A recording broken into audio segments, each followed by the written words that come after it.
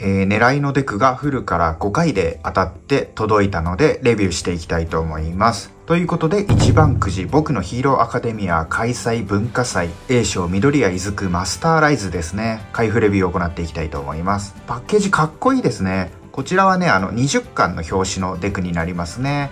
一番くじではね、私服のデクは初めてなんですよ。プライズではね、なんかコンバトかなんか、カッチャと喧嘩してるやつかな。なんか出た気がするんですけれども、一番くじでは初めてですね。デクのね、一番くじフィギュアはね、うん、ここ1年弱集めるようにしてるんですよ。すごい造形がね、凝ってて面白いなっていうのとね、あの作品愛とかキャラクター愛がね、ものすごくね、造形に現れてる、うん、勉強になるんですよね。なのでね、集めるようにしてます。こちらの私服デクも楽しみです。じゃあ開けていきましょう。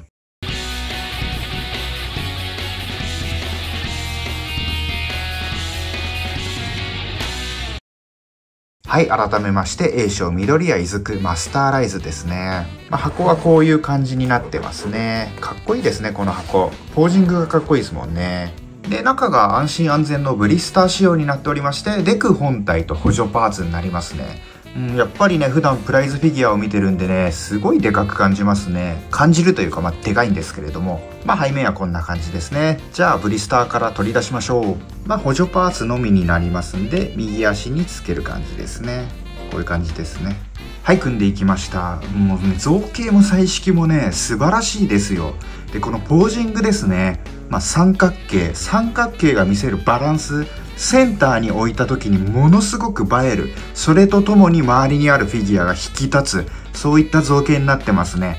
ま全体的にはこういった感じになりますね。いや、すごいね、シンプルではあるんですけれども、ポージングとかね。シンプルであるんですけれども、それが見せる相乗効果というか、不可抗力としてね、際立ってくる部分が多いフィギュアですね。うん、細かく見ていきましょう。でこちらは安定して自立しますね補助パーツは全然いらないよってぐらい安定して自立しますでまずは顔からですね、うん、うまいなと思ったのがここの口ですよね、うん、ちょっと歯が見えてるような感じで口がちょっと小さいんですよね。マスターライズといえど口は結構小さい。なのでねこうやって歯が見えてるようなちょっと半開きの口っていうのはもう何度も言ってる通りなんか飛び出てるような感じになりやすいんですよね。でも絶妙にね奥行きがあるんでねまあ、そういうことはないです。すごいうまいですね。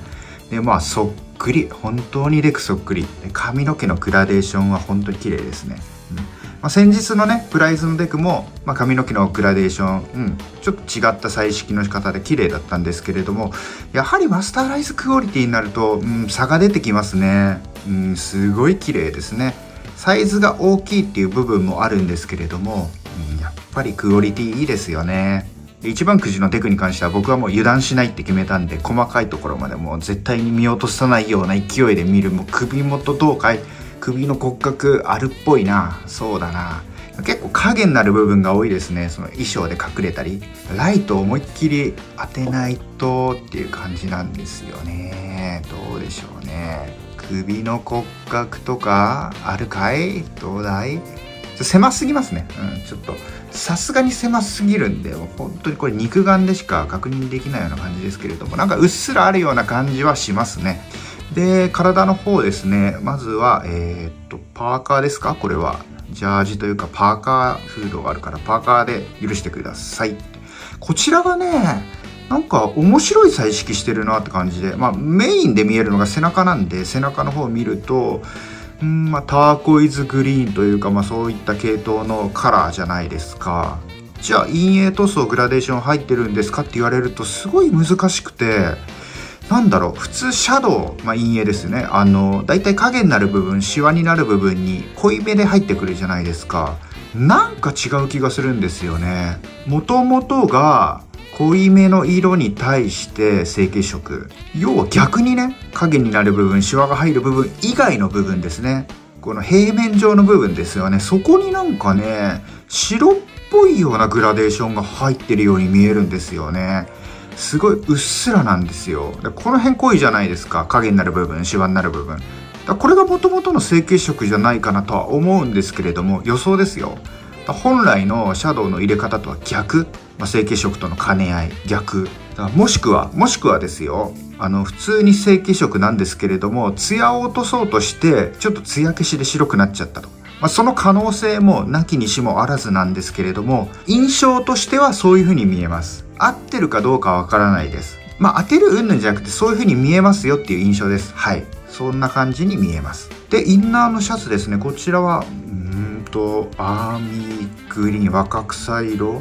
こちらは通常通り通常通りっていうのもおかしいけどシワになる部分だったりにちょっと濃いめのね陰影シャドウが入ってますよね。すごい綺麗ですね。ここはまさにマスターライズクオリティですよ、うん、まあ要は素材感から綺麗なんですよ。だから成型色もいきますしグラデーションとか入れた時により綺麗に映えるんですよね、うん、すごい綺麗ですね。でグローブの方ですね、まあ、こちらはねプライズもそうなんですけれども本当に作りが細かいんですよ。もう見てわかるじゃないですか。造形もこうわ細かいな細部まで。色分けも。え？すっごいこのゴールドの部分。いや難しいね。難しいっていうかものすごく労力かかる。手間っていう言葉の使い方はしませんけれども。いやー大変でしょうこれは。よくやってくれてます。ありがとうございますって感じですよね。いやすごいな本当にこのグローブ。ね作り込みすごい。で手の甲と手のひらで色が違うって感じでこう色の境目は個体差はありますね。まあ量産なんでしょうがないですねこういうのは、うん、若干は生じてくる。素材感としては結構何ていうのプラスチックとは言わないけどなんか硬いですね。こういう感じですね。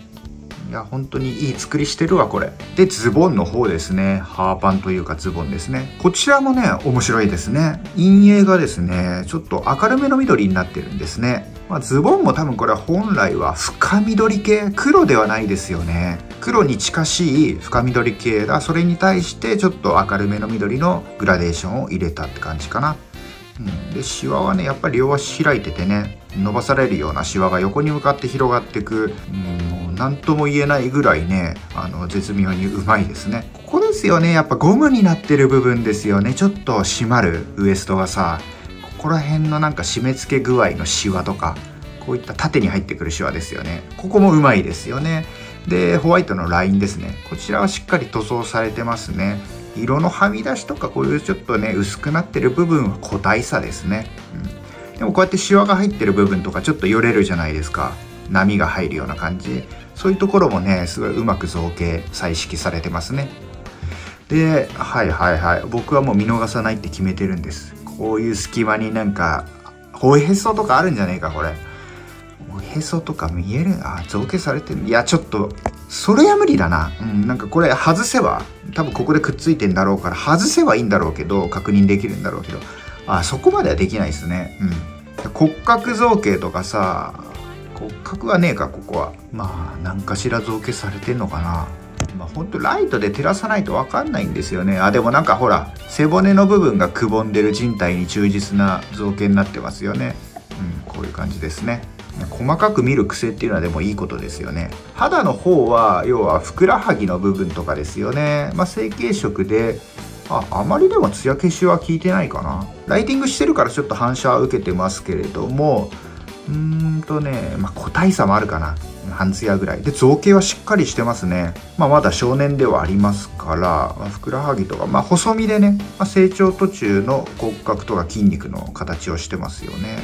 こういう感じですね。膝小僧の形とかさ、うまいですよね、本当に。やっぱドラゴンボールとは違うからさ、ね。それそうですよね。うん。まあ、ヒロアカならではの骨格造形してますよね。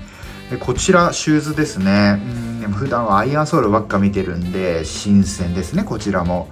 でこれはね黒くなってるところが、まあ、墨入れみたいな、うん、印象かな。そうですね。で艶ありの墨入れが施されてるんですね。こういった感じで、うん、細かい。縫い目とかさそういうところもしっかりね塗ってくれてるんですよ。大変そうですよね、うん、こういう感じですねめちゃめちゃ細かいですよ。なんかこの結び目の部分からさ入ってくるこのシワとかを見てるとさ本当になんか素材感感じますよね。革かな？これは、まあ、革だと想定してシューズってなんかちょっとふわっとするじゃないですか。なんか厚みがあってさ。そういったなんていうか、うん、素材感の厚み感じますよね。締め付けられるシワからね。うまいんですよやっぱり造形ね。でちゃんともちろんですよね。靴の裏までしっかり造形されてますね。で背中の方まあ先ほど見ましたよね、うん、本当にねなびいててねちょっと舞ってるんですよねこういう感じで。なのでシャツが見えてたり肌が見えてたりって感じですよね。このジッパーもね細かく、うん、造形されてるんですけれどもあのジッパーを後から塗ったって感じなのでちょっとこうやってね塗りが足りない、うん、個体差とかもありますよね。まあ僕は気にしないんでいいですけれどもね、でも造形自体はジッパーしっかりしてます。あーでもやっぱこうやって見ると分かりますね、うん、やっぱ背骨のところくぼんでるじゃないですか。やっぱりなんかこういうちょっとした肌の部分も造形凝ってるような気がしますよね。で足の方もそうですしね、まあ、こちらも正面と同様ですね、うん、シワの入り方とかそういった陰影塗装も、うん、綺麗ですね。やっぱりグリーンの陰影っていうのはねなかなかないんでね。すごく綺麗。新鮮まみれですね今回。でこちらが約26.5センチですねプライズの癖で16.5って言いそうになっちゃったわ26.5ですねまあ、ちょうど良かったんで、先日のプライズのデクと比べるとこういう感じですね。クオリティじゃなくてサイズ感の比較です。だいたいこういったサイズ感、やっぱりでかいですよね。